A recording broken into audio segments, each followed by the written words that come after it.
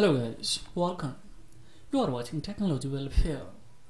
Let's learn and watch me practical in this video tutorial. How you will reset your iPhone device with the help of computer. Either it's a general reset or factory reset without using your iPhone device. Of course, with the help of your computer, you can reset it completely by a one click. So how you will do that? Let's see. Simply guys, you need to install this tool. It has been developed by our Tinos here. So now I have opened here.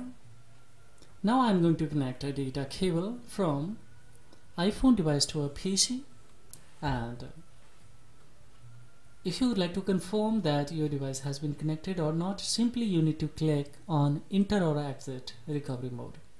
So see guys here, iPhone 7 has been connected.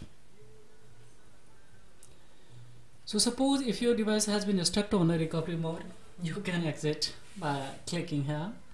If you would like to push your device into the recovery mode or DFU mode, just click here, it will be in your recovery mode. So now see guys here I would like to address uh, some reset device. So we have a two choice here see? One is a factory reset second is your general reset. In general reset we have a feature that if we address by using this option then of course when we are going to reset all the network errors simultaneously. Also notification error if it is not being displayed on your iPhone device. So this kind of the, small small error this can be addressed by using this general reset. By using this options you are not going to delete any apps and applications that have been installed or of course that had been installed by you or some others. Now see guys here, in a second one we have a factory reset.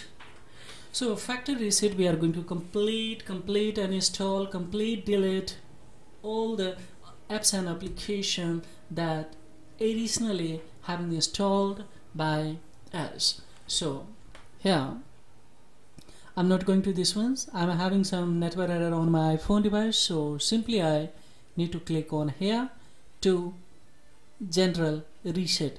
So if I click on here it will start to reset all the all the errors and difficulties if it is in our iPhone device without without deleting or without uninstalling of any apps and application.